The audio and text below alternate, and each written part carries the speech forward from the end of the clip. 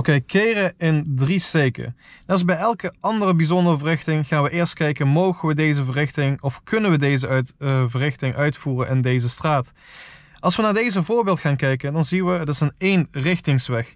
Keren in drie steken mogen we dus hier niet doen, we mogen hier niet keren. We zien ook een aantal auto's geparkeerd. Stel je voor was het geen eenrichtingsweg, dan was het alsnog niet handig om deze verrichting hier uit te voeren. Dus als allereerst ga je eerst kijken, kan ik deze verrichting hier uitvoeren in deze straat?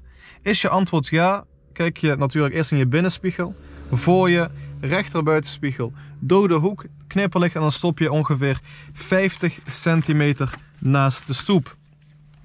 En waarom is het ongeveer 50? Het mag ook eigenlijk ietsjes minder zijn dan 50 centimeter.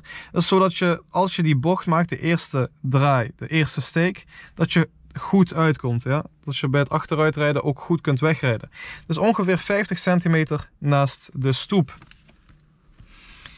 Nou, als eerst, zoals bij elke andere bijzondere verrichting voordat je gaat wegrijden, goed om je heen kijken. We kijken eerst voor ons, linker buitenspiegel, dode hoek. We kijken ook even of er verkeer, uh, bijvoorbeeld fietsers of auto's langskomen. Zij hebben voorrang. We zijn bezig met een bijzondere verrichting. Komt er niemand aan, dan gaan we wegrijden alleen op een koppeling. Dus slippende koppeling gebruiken. We gaan geen gas gebruiken, anders gaan we veel te hard. Dus zet hem op zijn 1. Rij een klein stukje naar voren.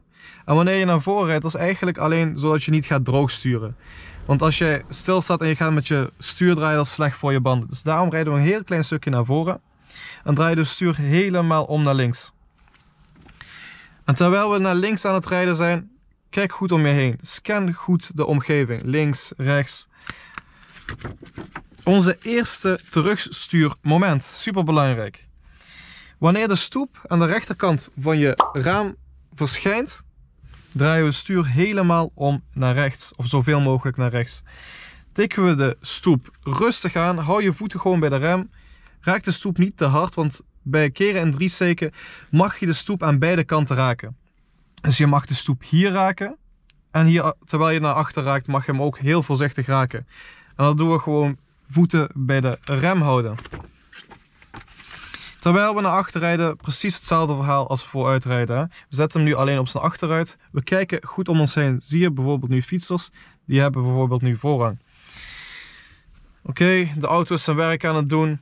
We kijken en we blijven scannen. Nou, onze tweede terugstuurmoment. Ook heel belangrijk. Wanneer de auto, dus we zijn zo achteruit aan het rijden, naar links uitwijkt, dan moet jij denken, hé, hey, dit is mijn tweede terugstuurmoment. Dus onze eerste terugstuurmoment was stoep, ruit. Onthoud dat, aan de rechterkant van je ruit.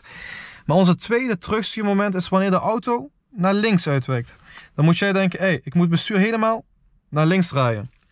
Dan rij je naar achter, precies hetzelfde verhaal als hiervoor. Hou je voeten bij de rem, tik de stoep heel rustig aan, voorzichtig. Wanneer je hem hebt aangetikt, kijk weer goed om je heen. Kijk of je weg kunt rijden. Kan je wegrijden? Ja, je mag. Oké, nu ga ik de bijzondere verrichting rustig uitleggen in kleine stapjes, zodat je het goed begrijpen. Laat ik eerst beginnen met een tip die jullie kunnen gebruiken bij het examen. Stel je voor, je rijdt een straat in met superveel objecten, met lantaarnpalen, bomen enzovoort. En je bent eigenlijk bang dat als je achteruit rijdt, dat je kans hebt dat je eigenlijk dat object raakt. Wat moet je dan doen? Je zet dat object, in mijn geval een lantaarnpaal, gelijk met de gordel. Dus dan rijden we een klein stukje naar voren.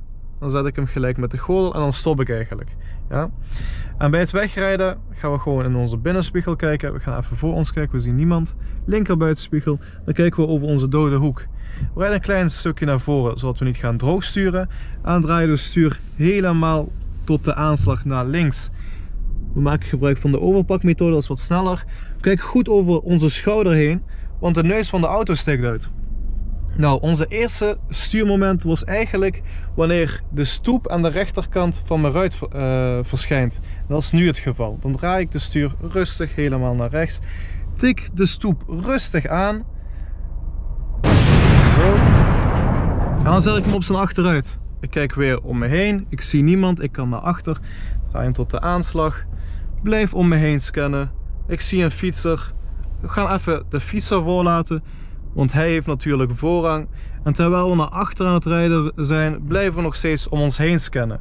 Nou, onze tweede terugstuurmoment was wanneer de auto naar links uitwijkt. De auto is op dit moment recht. Hè? We rijden, we blijven doorrijden. De auto gaat meer naar links toe. Ja, dus tweede terugstuurmoment. We draaien de stuur naar rechts toe. Tikken de stoep rustig aan. Ja, aangetikt. We zetten hem op zijn 1. Nogmaals, goed om je heen kijken. Geen verkeer. Je mag je knipperlicht naar links gebruiken. En dan rijden we weg. Bij het wegrijden, super belangrijk, de nakontrole nog. Kijk even in je binnenspiegel, rechter buitenspiegel en de linker buitenspiegel.